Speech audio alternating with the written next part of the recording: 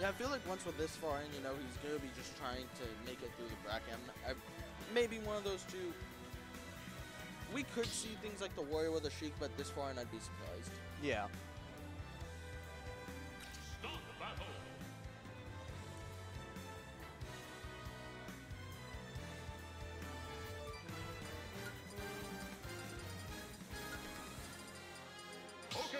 Okay, you have a Ganon for a second. I got real scared. I thought you said we have a Ganon. We're gonna actually have to go give uh, K9 some coach. Hey, listen, cuz, let me talk to you for a second. Yeah, yeah. ain't that ain't that hard. Long, long, long animal. You didn't have to say that. We're gonna be getting Pokemon Trainer versus Wolf. Yeah, like I said, gonna be the matchup. Interesting matchup per se. Uh, each Pokemon does respectively well against uh, Wolf, but when it comes time for Wolf to come in and hit him, just Wolf, his damage output is still so good on no matter what trainer. And uh, once Wolf gets on one hit on Squirtle, you're gonna want to switch over to the Ivy. And then like the neutral becomes about 50-50. But again, once Wolf gets another hit, it goes over to the Charizard. Uh, gets that first hit. Here we go. There's the loop. Multiple combos. Gets that up air, but since to the other side, not going to react correctly to the DI.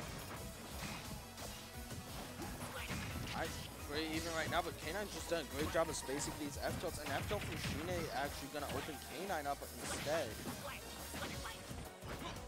He really just did F smash, try down tilt, try again on the F smash right there. I mean, give me a, show me a punishable smash attack. Not that one. Wait, Shine stayed Squirtle the whole time. Yeah, oh, he I was mean- looking for that F tilt. That makes sense. Yeah, I feel like Squirtle honestly doesn't have that bad of a time killing if it's a matchup like this where you can go for like F tilt tech chases on fast fallers, especially where they're not gonna fly very high. Wolf isn't a fast faller, he's a midweight. Is he not? Oh, I thought all the space. Uh, you know what? He might still be fast faller, but he is like heavier. I mean, I'm pretty sure still a fast faller even though he's heavy. Yeah. Uh, it's not like a weight thing. No, I wasn't saying that by weight. I just couldn't remember. Okay. Yeah. Anyway, getting back into it. Shine now going over to the Charizard. His his favorite Pokemon, you can uh, comfortably say. You see him pull it out a lot. Stay with it. Now he has Cannon on the edge. Just as I get up attack, get off me. Charizard is so scary on the ledge too. You knew he has options for that F tilt, for that forward throw. A lot of options Yeah, he can oh do. god. Honestly, with the most recent patch, Charizard's ledge trapping is actually kind of crazy. Charizard's kind of broken, but you know what? Uh, what is broken? That Wolf back air. Now Shine down three to one. Gets a parry, and goes for a back air What out was of. that? That was weird. He like he, Get he the was hell in off me. front of him and Perry crossed him up. Yeah, Ivysaur's back air really does hit behind him a lot of the time. You saw that. And Shine finally going to get that first stock off of K9, but now he's into the Squirtle at that low percent. He needs that one grab so he can get about 50%. Here we go, roll behind the classic tech chase. Calls him with that back air. Yeah, K9 kind of all over him, especially when he's going for these swaps. He's making it so they aren't just a get out of jail free card for him. I like that K9 went for that uh, Wolf Flash. Immediately don't want to go low against Ivysaur. You already know what's going to happen if that happens. Oh, no jump for K9, but an aggressive up B right into Ivysaur's face. Uh, Shine not looking like he knows what the hell was that grab. He teleported. Like, I love watching grabs that hit from like way too far away. They're so beautiful. pivot grabs are interesting. Pivot grabs are a blessing. But speaking of a blessing, K9 has a blessing on this game. He's had such control over the match. Good tech though. What a tech, but Oh, I believe not, he, he wanted side B, got the and didn't. he wanted a side angle of something, you could say the least. Now uh, Shine probably probably really happy about that because now it's at that high stock, one to one. He's gonna try for the back throw back air. We both know it. If I had to guess, I'm gonna say 15% and uh, back go back air at the ledge will kill. Oh, back air hitting uh, Shine's tail because he went for that nair. Gonna take that game one with the JV2, but did bring it back to a one stock deficit himself. So Yeah, K9 was just kind of all over Shine all game. You know, he he had the pressure. He was spacing his F tilts incredibly well, where Shine would try and punish it and then get punished so good. himself. Yeah. What I'd like to maybe see from Shine a little more, you saw that first stock. He was on Squirtle for an incredibly long Oh. time. No, that's, that's fine. He was on Squirtle for a long time. He wanted to get that out tilt check chase. After he missed it, I think he should have switched over. I'd like to see him like be a little more liberal with his switching instead of staying for characters. But now Shine going over the DK. He wanted to go all PT, but uh, if you paid attention to Shine, you know him versus DK. Him, his DK versus Wolf is a funny Yeah, matchup. he definitely does like it, especially being able to walk. uh, throw just off. throw these characters in the trash can at 40%. it's honestly like art to watch. Yeah, you know, Shine's ha got some stuff. Triple Nair. Okay, K9. K9's been getting some new stuff of his own. K9 is tired of people making fun of him. Gets that Nair out of shield. Oh, no. Walk him off? No, No, he's going to go dead. for the DKO instead, and that'll kill. Man, that at is us. that is literally the whole matchup. Shine Wolf looked is gonna. I saw. I looked him in the eye. I did too. Yeah, K9. Wolf is always gonna do about 100%, but if you don't kill him by the time Wolf's at 50, you gotta just risk being anywhere. And I understand why Sheenan went uh, over to DK for here because K9 did give him PS2, Yeah, and uh, what DK loves PS2. It feels like we're seeing K9 kind of play near the DK right now. Just go for things at like max range and hope Shine approaches. But Shine knows there. He's not running into anything. And cares with that up smash not gonna kill. DK still heavy. Back air does not care who you are. You know, Shine gone. They're hitting Aw. behind him, but carrying him. I knew that was Ah. gonna happen. God, this Excuse me? Thank God DK's low tier. Thank God DK only has like his cargo throw. So getting into it, K9 now bringing this back, and he's at the point, past the point of the uh, ding dong, so you don't really have to worry about uh, yeah, but yeah, you get walked off at 90. yeah, he has to worry about getting walked off even if he's not under a platform now. I was just gonna say like, it's that falling up air into the back here. That was really cool. Oh. And that big down air. K9 answering back. Yeah, that's where I want to see more uh, from K9 is just being willing to go aggressive off stage in that situation. K9 with that spot dodge, not gonna take the stock just yet. K9 probably gonna want to go for a space back air or a grab at this point, try to get this kill, but K9 is playing so safe. He's doing a lot of good cross-ups too.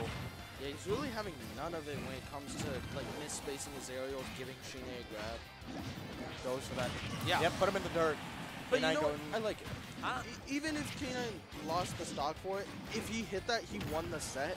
And I- he had another stock to go with. He still has a pretty big lead here. See, I don't agree with that in the in the sense of you're going against DK, and more specifically, Shine's DK. Shine is known for bringing these things back. You don't want to give Shine any room.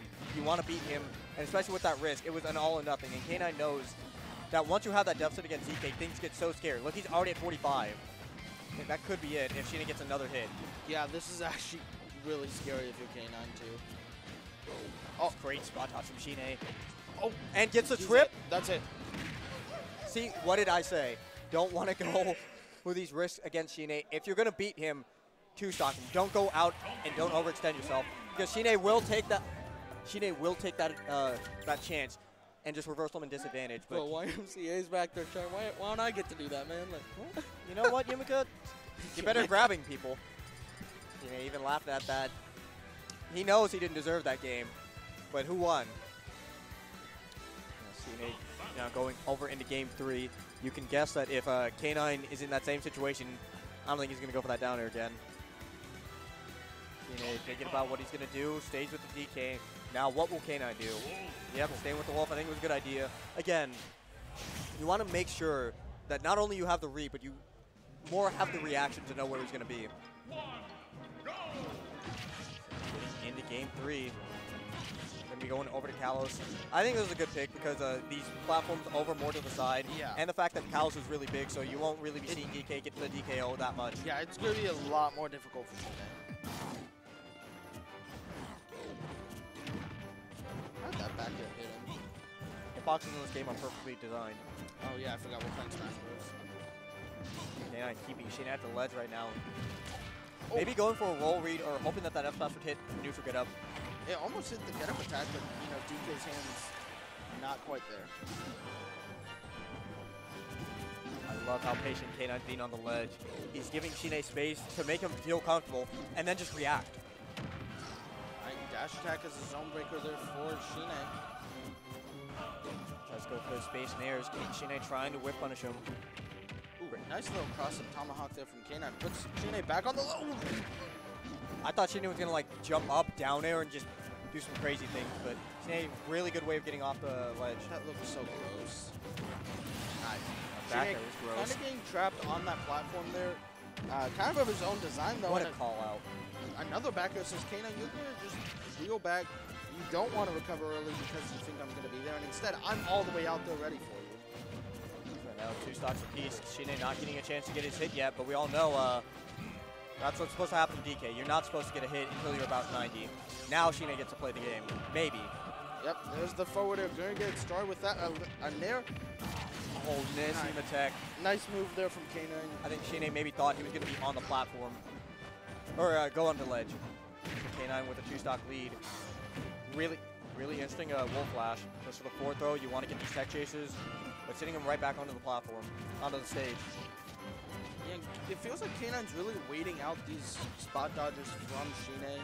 After these like landing down these things like that, uh, Shine's oftentimes going for things like a spot dodge just because you know it's good in this game, but walk him off.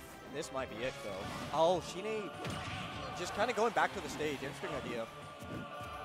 That up air will definitely kill. I like how Shine's just harassing uh, K9 in the air with these up airs. I feel like maybe Shine wasn't confident that the back air would beat the Wolf Flash or something. If he got spiked by it, he'd lose. That's true, but we've known Shine to go for those kind of re, uh, go, things in the future. Now, is he going to go off for it again? No. Yeah, he stayed on stage this time. He knows there's a lot to risk here. Yeah, and that was a really good stall from Shine, using his double jump to go backwards and bait out and sort of like landing up there with double jump. Don't make that face. So game three, last stock. This is about as even as it gets. I'm not gonna lie to you. Shields the uh, the DK punch. Yeah, but there's so much knockback. He reads the get up attack, but he misspaces the or mistimes rather on the dash tag. Set there again. Shine K9 knows there's a lot to risk here. At the ledge, Shine coming up with aggressive back air. But calls him out with a back air of his own, gonna get immediately taken off.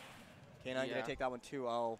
Yeah, Shine had jumped out of disadvantage one too many times for K9 to not catch on at the end. Yeah, unfortunate stuff for Shine. He knows if he got that hit, he would have been able. He might have been able to extend that to a whole stock.